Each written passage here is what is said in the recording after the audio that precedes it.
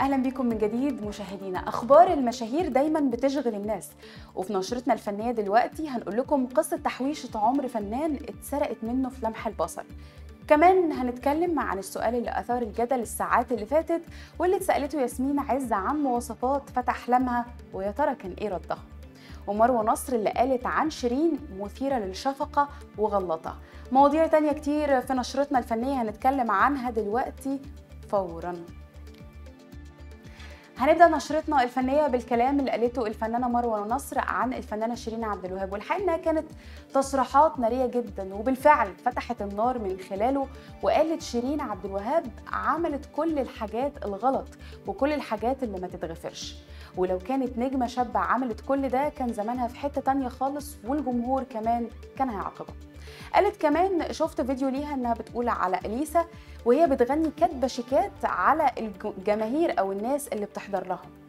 طبعا كملت كلامها وقالت إن أليسا نجمة كبيرة وشخصية لطيفة وبتعامل كل الناس بتواضع وإنها ناجحة جدا وليها جمهور وشعبية. أما بقى عن وصف شيرين نفسها بصوت مصر ردت مروة نصر وقالت هي آخر أغنية عملتها إمتى علشان تبقى صوت مصر؟ كل حياتها الأخيرة دي كانت حياة شخصية ومجرد استعطاف لا غير. وكملت كلامها وقالت يا شيرين ربنا ادالك حاجة كبيرة قوي ما بتجيش غير كل سنين كتير مرة واحدة. أخدت دعم من أول يوم طلعت فيه وبقيتي نجمة كبيرة جدا. عندك صوت عندك قبول عندك جمهور وعندك بنتين زي القمر وعندك كل حاجة.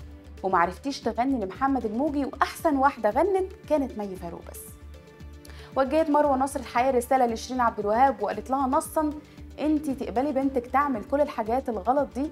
ولو حاسة فعلا إنك صوت مصر خليكي فعلا قد اللقب ده وراعي كل تصرفاتك علشان خاطر بلدك وعلشان خاطر جمهورك اللي بيحبك.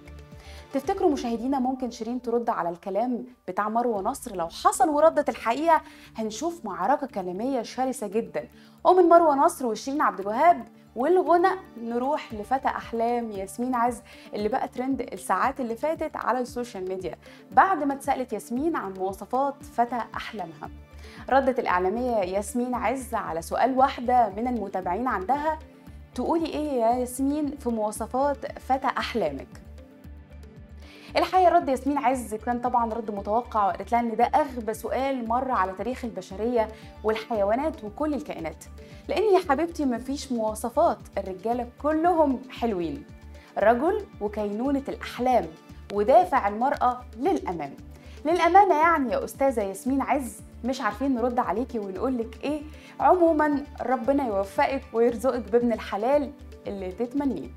ومن مواصفات فتى أحلام ياسمين عز لسرقة تحويشة عمر الفنان صبري عبد المنعم. طبعا تم نهب تحويشة عمر الفنان صبري البالغة 2 مليون جنيه. وحاولت السلطات الأمنية طبعا فك لغز قضية النصب اللي حصلت له واللي تعرض لها الفنان صبري عبد المنعم المعروف. اللي حصل إنه كشف الأمن إن العصابة مكونة من عشر أشخاص وهي اللي نصبت على الفنان صبري عبد المنعم.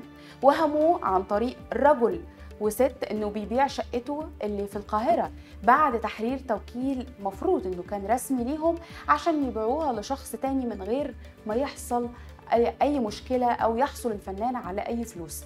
وأعلنت السلطات لاحقا القبض على المتهمين أو العصابة اللي نصبت على الفنان. وتحريات أجهزة الأمن طبعا قالت إنهم خمسة من المتهمين العشرة ليهم سوابق جنائية ومن بينهم أربعة تم حبسهم بالفعل على ذمة قضايا نصب أخرى. مشاهدينا من قضية النصب نروح للتراشقات والاتهامات اللي بين نقيب الموسيقيين الحالي الفنان مصطفى كامل وبين النقيب الأسبق منير الوسيمي أصدر الفنان مصطفى كامل نقيب المهن الموسيقية الحالي بيان رسمي علشان يرد من خلاله على النقيب الأسبق منير الوسيمي واللي اتهموا اتهام غريب في عدة بيانات قبل كده بأنه سرق كلمات أغنية الحب الحقيقي الشهيرة واللي قدمها محمد فؤاد بصوته من كلمات مصطفى كامل. وأكد أن مصطفى كامل قدم بالفعل استقالته من النقابة عام 2010 علشان يترشح لعضوية مجلس الشعب وقتها. جاء البيان الرسمي كالآتي. جاءتني اتصالات عديدة ورسائل على الواتساب من مجموعة من الصحفيين المحترمين. وذلك للرد على عبارات تفوه بها رجلا تعدى سن الثمانون عاما.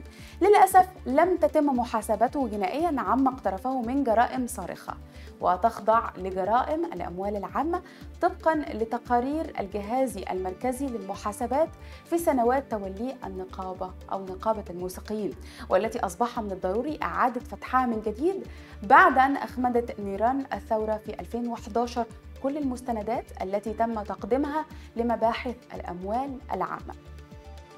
وذلك بعد اقتياده مكلبشا والقبض عليه حينذاك في زفة لم تشهدها النقابة سابقا.